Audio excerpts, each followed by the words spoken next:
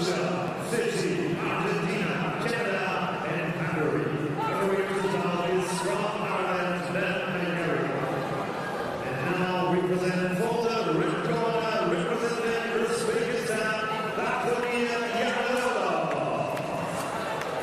here comes the imposing figure of Bakhodir Jalolov of Uzbekistan, the tournament number one seed. He is striding confidently towards the boxing ring ahead of this quarter-final against a man he knows very well indeed.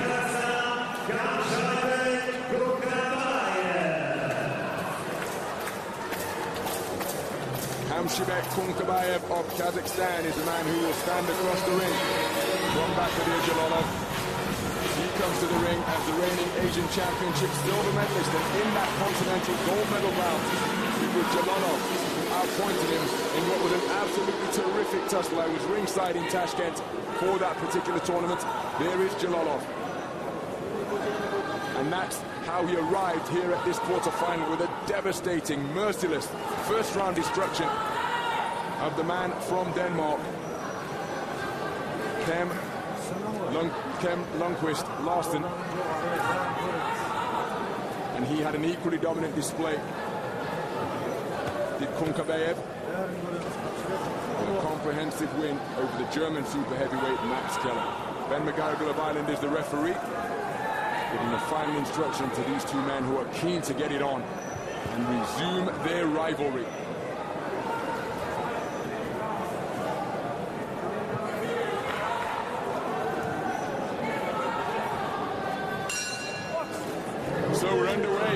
The 91 kilogram plus super heavyweight division. This battle of southpaws pits men from Uzbekistan and Kazakhstan against one another. And what a rivalry those two nations have. The two of them exchanging southpaw jab to begin this contest. The taller boxer wearing red is the reigning Asian Championships gold medalist. That is Bakhodir Jalolov, 23 years of age. And his opponent wearing blue, also boxing out of the southpaw stance, is 25-year-old Kamshybek Kunkabayev. Here Jalolov, the reigning world championship bronze medalist from his performance in Doha, Qatar two years ago, where he lost to the even taller figure, which is a rare occurrence for him, at Ivan Dichko. Dichko stands six foot nine, remember. There's no prizes for guessing styles and tactics here for both boxers. Jalolov has got to box at range, keep his distance, box behind his jab, hold in centre of the ring and bring that left uppercut through if his opponent closes the gap down. And Kunkabayev, totally the opposite. He's the shorter man, got to target the body and also got to target his ring position in terms of pushing his opponent back from the centre and pushing him back to the ropes. This fella in red has got the height and reach. If, he, if Kunkabayev allows him to use that, then it could be a long and um, a bad night for Kunkabayev. So he's got to sort of push his opponent back to the ropes, restrict the movement, and then, because when a boxer gets on the ropes, his feet always will come square, and that's when that target area will be full on to Kunkabayev and he can work the body. Targeting that long.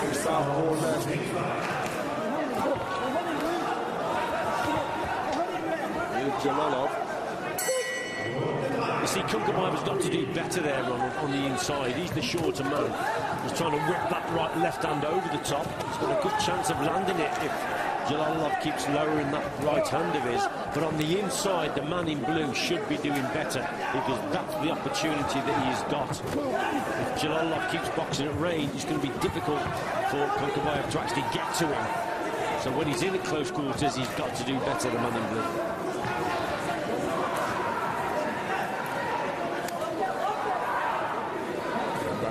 McGarrigle just speaking to Jalolov about illegal use of the shoulder and also punching correctly. Closing seconds of the opening round.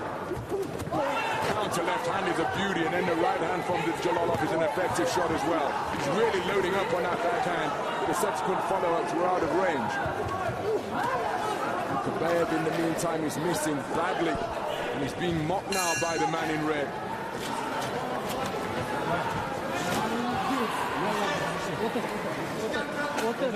Otur, gel kıpırasın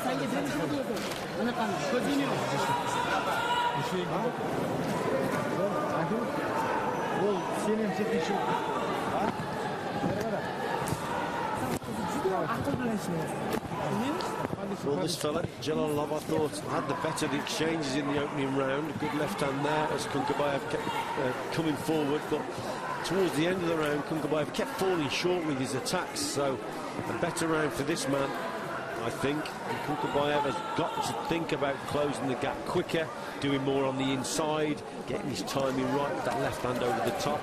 It's still there for him, but he's one round down.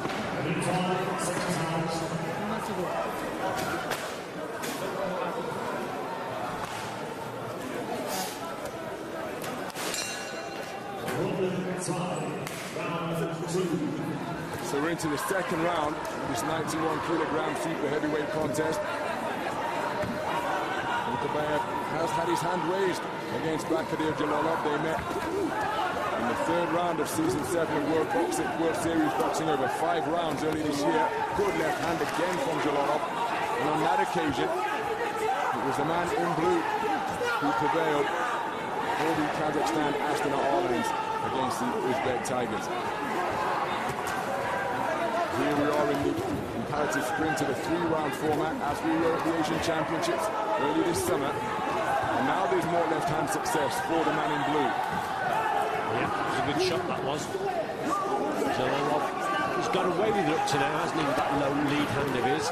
But uh, just landed, and again, that was a good shot down the pipe. He walks onto another one. You've got to keep that right hand higher, as Jalolov. Jalolov just looking to his corner as he went walkabout there. Over a minute gone in this second round. He's at his best, Jalolov, when he's able to be a sharp shooting operator. Get behind that hard right jab and whip over a big left. But another right jab cracks home from Kunkabayev. And look at his footwork now. He's warming to this task. Jalolov being forced square on the ropes. He invites his man in, but his accuracy has decreased. What's happening here, Ronald, as well? Kunkabayev is making Jalolov work on the outside. Um, the movement from him, Kunkabayev is just cutting that ring space off a little bit better. Good left hand from time now, trying to out that long left. Hard left hand to the body could well slow down the movement of Jalolov. And then a hard left cross again. Jalolov backing himself into a place of confinement. And Kunkabayev unloaded with a strong left cross over the top. And there's some bad signs here from the man in red in terms of, of his fitness because he seems to be tiring in this round round. He's done a lot of work on the outside. Look, there at the side, look, he's holding on. He's trying to walk back to the centre, trying to just buy a few, a few more seconds. But that's bad body language for me from the man in red. And we've seen him unravel before in terms of his fitness. Remember he- against um, Joe Joyce, was it in the Olympic Games? that's remember? In 2016 Rio, he really came apart because Joe Joyce was constantly walking him down making him move on the outside. Let's see if, see if his fitness is going to hold up here. Into the quarter-final stage, Jalolov finished sixth in Rio. Again, he's standing still and inviting pressure. Kunkabayev has been encouraged this round. There's another left-hand success again, and it's notable that Jalolov is the man to initiate the clinch. Well, that. You don't want to show your opponent or the corner that type of fatigue and distress in the ring. A huge intake of breath, grabbing onto the top rope to hang on before he slumped onto his stool. Yeah, bad signs there from Jalolov. Certainly got to pick himself up and be focused now in that corner. Uzbekistan corner is to motivate their boxer. They've got to try and motivate him back. Try and make him work a lot harder in this last round. But here, Kunkabayev had a good round, didn't he, on that front foot. Jalolov on the outside, exerting a lot of energy. Kunkabayev landed with some nice shots over the top there.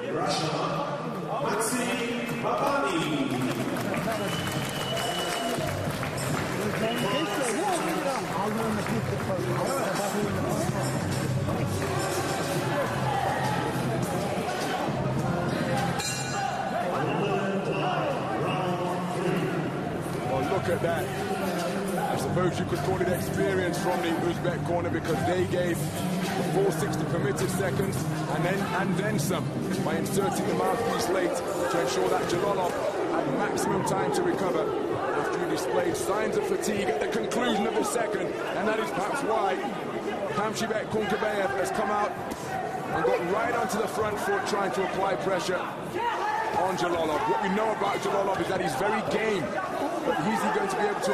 Is he going to be allowed to demonstrate that gameness and commitment and courage?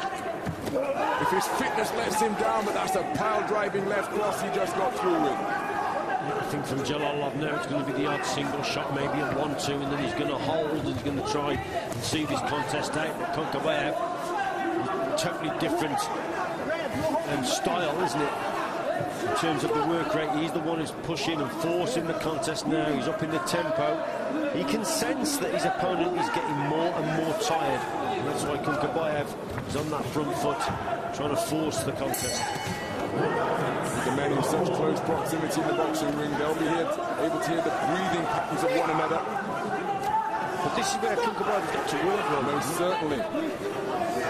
At close range like that, being a shorter boxer, all of this Jalolov buying time, Yeah. stealing precious seconds in which to recover.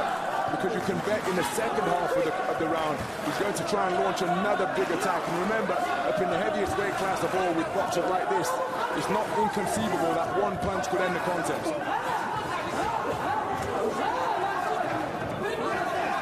So displaying a veteran's experience here is Jalolov, despite being just 23 years of age, because he's picking his spots.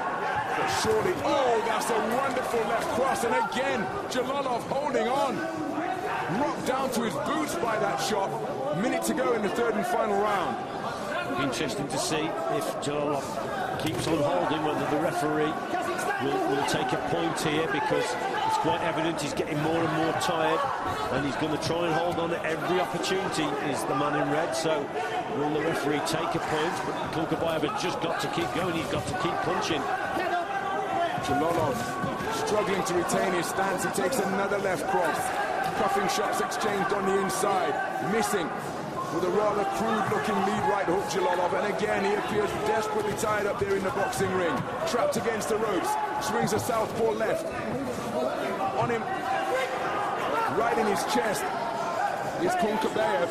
Timeout called. Mouthpiece has come out, and again, that's the sign of a fatiguing fighter when you can't hold the mouthpiece in your mouth. And that is why it is an offense that is punishable if it happens repeatedly, because a fatiguing fighter can spit it out to buy time because it has to be rinsed and reinserted. Ben McGarrigle will be keeping an eye on this, the referee. Closing seconds, he's likely to make it through without infraction. That's a big left cross landed by Jalolov. And again, he holds on there. So Jalolov has got through this round. I think he's been a lucky lad at times here. And the referee has been a little bit lenient with him there, Ron. Well, Jalolov thinks he's done enough. That may be more in hope than expectation. This man had a terrific conclusion to the second round. Was landing the cleaner punches in the third. There were a couple of eye-catching left crosses from Jalolov, but his shape was betraying him in the third and final round. And he took a particularly thunderous left cross that caused him to become disorganized. I think in the last round it was the man in blue that did the better work. He just gets caught with a good shot there, but he's the one that seemed to um, have more urgency in his work. Good left hand from him there. Overall, well, which way is this one going to go?